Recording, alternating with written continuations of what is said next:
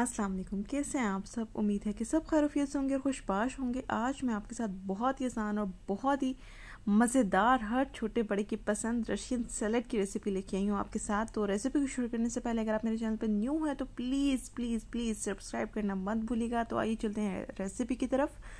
बिसमीम यहाँ पर मैंने लिया है एक एप्पल जो कि मीडियम साइज़ का है, दो अदद यहाँ पे हमें चाहिए होंगे बनाना उनको ऑलरेडी काट के रख लिया, काट के रख लिया है, और साथ ही साथ हमें थोड़े से यहाँ पे मैं यूज़ कर रही हूँ मटर ऑलरेडी बॉयल हैं, और एक टिन हमें यहाँ पे चाहिए होगा कॉकटेल का, और साथ ही साथ एक अदद एक कप ली है मैंने मैक्रोनी ऑलरेडी बॉयल्ड है, और थोड़े से यहाँ पे मैंने अनार ले लिया है, और हाफ़ कप हमें चाहिए होगा यहाँ पे मायनीज़ दो से तीन खाने के चम्मच हमें चाहिए होगा दूध, और हाफ़ टिन हमें यहाँ पे चाहिए होगा क्रीम तो आइए चलते हैं रेसिपी को शुरू करते हैं।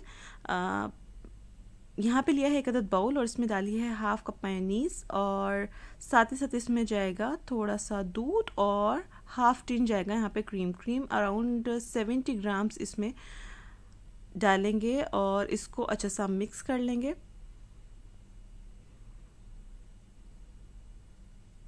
और साथ ही साथ दो से तीन खाने के चम्मच हम इसमें डालेंगे दूध और इसको अच्छा सा मिक्स कर लेंगे इसमें, हम कोई भी आर्टिफिशियल शुगर ऐड नहीं करेंगे। इट्स अप टू यू अगर आप ज़्यादा मीठा पसंद करते हैं तो आप डाल सकते हैं, वरना जो हम फ्रूट इसमें डालेंगे तो उससे बहुत मीठा इनफ होगा। तो यहाँ पे दूध ऐड कर दिया है और इसको अच्छा सा कंबाइन कर लेंगे और इसका एक जो है हम पेस्ट तैयार कर लेंगे। तो यहाँ पे देखें अच्छा सा मिक्स हो गया है। और अब साथ ही साथ अब हम इसमें डाल देंगे जो हमारे फ्रूट्स जो हमने ऑलरेडी काट के रखे हुए हैं, आप अपनी मर्ज़ी के मुताबिक और भी इसमें फ्रूट्स ऐड करना चाहते हैं, कर सकते हैं। इसमें आप पाइन डाल सकते हैं पीच डाल सकते हैं पेयर डाल सकते हैं, जो भी आप पसंद करते हैं या जो भी आपके पास इजीली अवेलेबल हैं, आप सब इसमें डाल सकते हैं।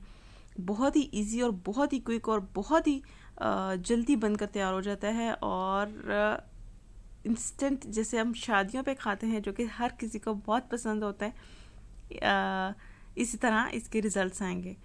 तो ये देखें अच्छे जैसा मिक्स हो गया है, अब हम इसमें डाल रहे हैं अपने फ्रूट्स आप चेक कर सकते हैं, ये इस कदर थिक होना चाहिए। अगर आप चाहते हैं इसमें शुगर और ऐड करनी तो आप कर सकते हैं। और, यहाँ पे ये देखें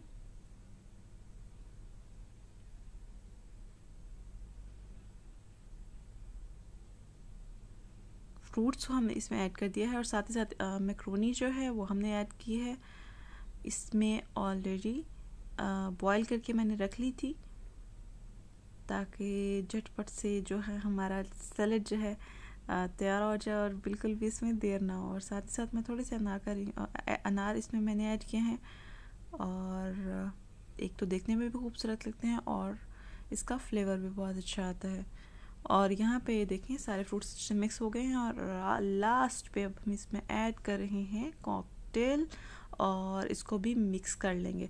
और एक छोटी सी टिप इसमें ये है कि अगर आप जो कॉकटेल का सिरप है, मीठे के लिए आप वो भी यूज़ कर सकते हैं। उससे भी अच्छा एक मीठा इसमें हो जाता है। आपको शुगर ऐड करने की इसमें ज़रूरत नहीं रहेगी। तो ये देखिए जस्ट हमारा क्विक सा, मज़ेदार सा और यमी सा रेशियन सैलड बनकर हो गया है तैयार। यकीनन आपके मुँह में भी पानी आ रहा होगा। मुझे उम्मीद है आपको रेसिपी पसंद आई होगी। अगर मेरी मेरी रेसिपी आपको अच्छी लगी है तो please hit the like button and फिर आऊँगी एक नई वीडियो के साथ। तब तक अपना ख्याल रखिएगा। अल्लाह हाफिज़।